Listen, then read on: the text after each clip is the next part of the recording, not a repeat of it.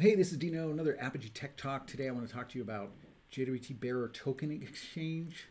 This is a way that a client may request an access token from Apigee. The original IETF RFC that described OAuth 2.0, uh, RFC 6749, described one grant type, uh, a, a grant type for client credentials um, which required that the client send in its credentials in the authorization header encoded um, as a base 64 uh, encoded blob. And along with that, a, a form, um, which is indicated by this content type, with exactly one parameter, grant type equals um, client credentials. So send in your um, client ID and secret encoded in that way to the token dispensing endpoint um, with that form, and you get an access token in response. Um, that works. Lots of different people are depending on that. There's a different IETF RFC that describes a different way to get a token, um, and that is 7523. It describes the JWT bearer approach, where the client does not send a client ID and secret in the header. It's still a post, still a, a form. Uh, there are two parameters in this case, grant type, and it's this string indicating JWT bearer. And the second parameter is assertion, which is a signed JWT that the client produces. And that JWT ought to have this kind of structure in its payload. It is then signed with a private key that belongs to that client according to this standard, the token dispensing endpoint should verify that signature and then return uh, an access token. So that's all just background. Um, actually, this style of token exchange, the JWT bearer uh, grant, is used by Google for service to service invocation for any of the cloud APIs, including cloud logging or Vertex AI, BigQuery, Apigee, and so on. Um, and the example that I put together here shows how you can implement this flow within your Apigee APIs to allow client apps to authenticate via this approach. Why would you do this? Why would you want to do this? Why not just use client credentials? Well, um, it's bottom line, it's more secure. Uh, client credentials grant requires that you send in a secret. The client must send a secret to the server with every request for a token. And that's sending secrets over the network is something that security experts will frown on. Uh, with the JWT bearer approach, the client does not transmit secrets. It's a digital signature, which is not a secret, uh, but it does offer proof that the signer possesses the private key. Uh, you might also ask, well, why exchange a JWT for an opaque token then? Why not just use the JWT as the access token? Well, the reason to, to perform a token exchange is for performance. Uh, JWT are large and computationally expensive to parse and verify. Um, on the other hand, an OAuth token is smaller and faster. So um, that's why you'd want to do the token exchange. Superior security is probably why Google uses this pattern for all its APIs, and performance is just a bonus. Okay, so I'm going to walk through um, producing an API proxy and demonstrating how this is going to work using this repo. And you can follow along. The prerequisites are that you need Apigee X. Um, I haven't tried this on any other version of Apigee. The helper scripts that I'll use depend on various Unix utilities, so you need a, a Unix to do this. It's not going to work from Windows, but take heart, you can use Google Cloud Shell, which is available to you if you have Apigee X. So even if you have Windows on your developer workstation, you can still do this. So how does it work? There's a, um, a proxy in here that dispenses tokens. The base path on that is JWT bearer OAuth, and it just accepts uh, an inbound request um, of the form described in RFC 7523, um, just as I've described. Um, there are some requirements on that JWT. Uh, the Apigee proxy checks for all those things, and if it looks good, um, the Apigee proxy will dispense an access token which looks and works like any other access token. It's just an opaque access token. as with any OAuth flow in Apigee, in order to support that, you, there must be a developer entity, an API product, and an app registered for the developer that is authorized on that API product. I mean, there's a lot of setup that you got to do. Um, but the good news is I have a, um, a, some helper scripts that will help you through all that. The one twist in this, the registered app must have a custom attribute on it called public key, and its contents must be the the public key, the thing that starts with begin public key and ends with end public key. Um, and Apigee is going to use that public key to verify the inbound signed JWT from the client. Okay, so let's get started. Um, as I say, there are some helper scripts uh, along with its instructions. Uh, I'm going to follow along using the Google Cloud Shell. If you have a console open to Google Cloud, you can just click this icon to open Google Cloud Shell right in your browser. Or if you're, you're comfortable doing it from the terminal, you can also get there. And if you have the gcloud um, utility installed locally, you can get to your Cloud Shell just with this command. So let's do that. Let's get started here. Okay, um, there's my shell running in Google Cloud. Once that's uh, open, we're going to clone this repo. Um, that takes just a moment. Then I need to log in. And it's going to tell me, hey, are you sure? I don't think you need to log in. In my experience, yes, you do. So to do that, it's going to give you this long URL. You got to grab that, paste it into your address bar in a browser, and authenticate. Uh, at the end of that, you will get an authorization code, which you paste in. Okay, returning to the instructions, we've now logged in. Uh, let's change to the directory that we uh, cloned the repo in. Uh, and then we need to modify the environment. Um, I'm going to use VI for that purpose. And basically this is just setting some environment variables for um, my Apigee project, environment, and host. Okay, that all looks good, so let's write that and quit. Then we need to source that file. Terrific. So we've done that step. Uh, now we need to install some dependencies. That'll just take a moment.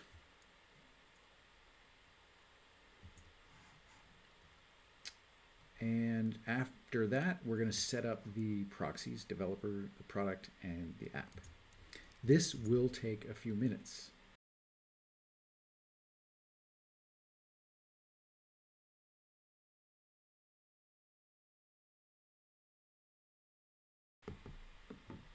Okay, so we get the happy message that says all the Apigee artifacts are successfully set up. Um, and we should copy that client ID and set it in the shell. Uh, okay, so we've done that. Now, um, so it's got the app and the developer and the API product, uh, but we haven't set up the RSA key pair. So let's first produce a key pair.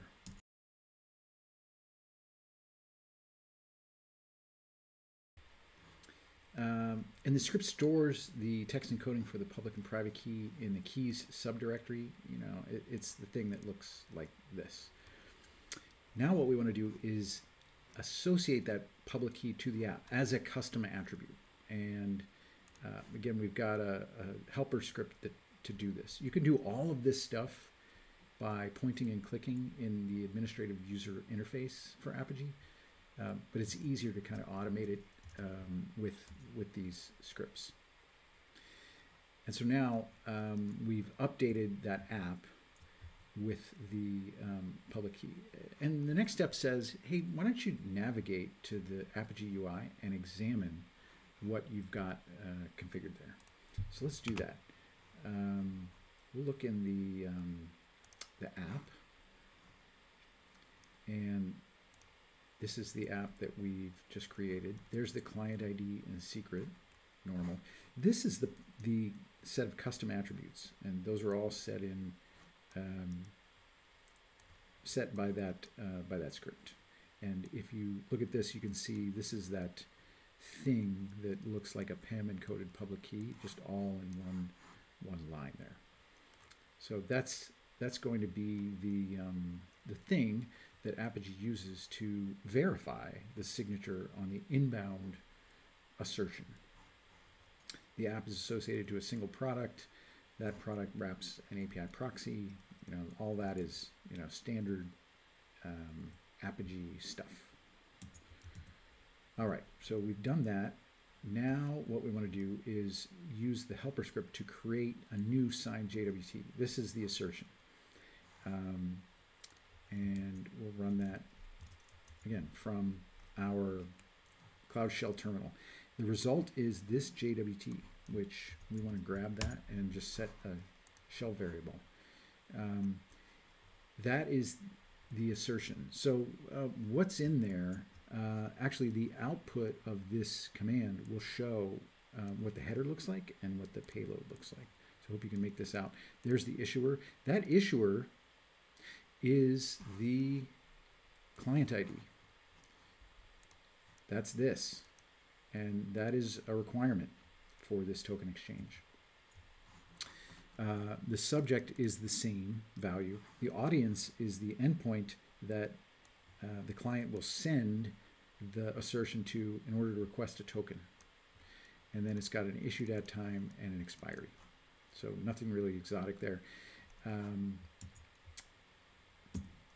so we've got that. And at this point, we can use that self-signed JWT as the credential to request a token. So let's grab that command um, and we'll send that in. And sure enough, I get an access token back from the um, from the token dispensing proxy. So what just happened there? Um, let us uh, let us try that again. Uh, but first, let's turn on trace for the token dispensing proxy. And that is going to be this one. So we'll start a debug session.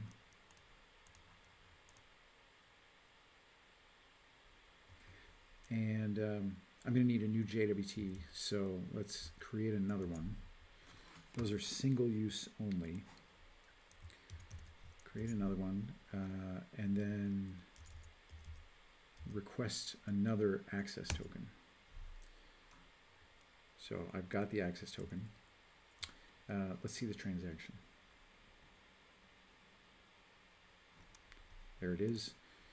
Um, so we can see all of what um, the API proxy does, but this is maybe a, an interesting part um, the the um, well let's let's kind of step through this. First thing that's maybe interesting is the decoding the JWT and the reason for that is we need to extract from the JWT the um, the issuer which is the client ID why do we need that?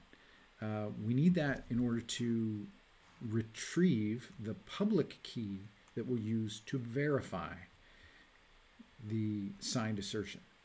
So just decoding the JWT doesn't assure us that that JWT is bona fide. Uh, we're just trying to get the information out that, that allows us to verify it, and that is uh, pulling the issuer. Once we have the issuer, we can access that app using the access entity policy and retrieve the public key that we'll use uh, later to verify the the assertion that comes in. Um, so it's it's using the extracted public key from that um, custom attribute in order to verify the JWT. That works, and uh, the JWT is um, not expired. It has the appropriate claims, and therefore, you know, we're, we're going to trust it. Subsequent to that, um, we call the Apigee, the standard Apigee OAuth v2 policy to generate an access token uh, and send that back. So that's kind of how it works. And you can see all the, the structure of that uh, in the um, in the proxy configuration, uh, all the checks and and you know all, the other logic that goes into that. Uh, there is some flourishes for example, the JWT gets cached. so that it can cannot be used again. If I were to try to use that same JWT again, um, the proxy will reject it because it's been previously used. Uh, so, and that is by design. We, we want that to happen. These, these things should be single use only. So pretty cool. Uh, and you know, if you have any doubts, uh, it's just a regular access token. So if I go back to my shell, this is the actual access token that we had from the successful request.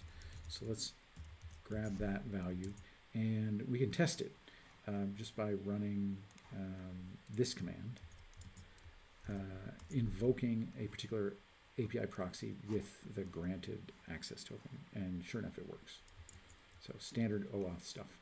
There's lots of other experiments that you can conduct. Um, for example, you can, uh, or things that you can explore. For example, you can um, paste in your, your JWT that is used as the, um, the client's identity assertion into a decoder like, or a tool like this. So I can paste that in and I can see maybe it's easier to see this way um, the algorithm has to be a JWT. The issuer and the subject are the same. That's the client ID. And um, the audience must be uh, this value, which is the, the token dispensing endpoint. Um, so that, that may be interesting. Uh, it, it, may also be interesting to generate different JWT um, from from that um, from the the helper script. Uh, so, for example, you could uh, create JWT that had the wrong audience, and if you do that, you would expect that the request for token will fail. Uh, or create a JWT that has a lifespan greater than the maximum of 300 seconds. Um, again, it should fail. Omit the issued at time, the request for token should fail, and so on. You can try all these, um, or try with a JWT that's expired. One way to do that would be to create a JWT with a really short lifespan, and then wait until it expires. Let's just try that one.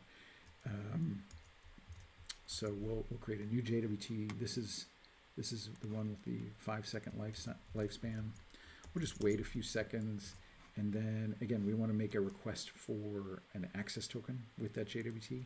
So that'll be the command we run. And it should tell us, hey, um, your, your token, your ID token has expired. So all according to um, expectations. That's what we want. Okay, I hope this has been helpful. Um, listen, if you if you've gone through this and you want to clean up afterwards, you should be able to just um, run a the other helper script, the cleanup helper script that removes everything. You know, the app, the product, the developer, the proxies, uh, all that stuff gets cleaned up, and um, you know returns your your system to how it was before. I hope this has been helpful and instructive. Uh, let me know in the comments for this video uh, what you think. Till next time, keep it digital.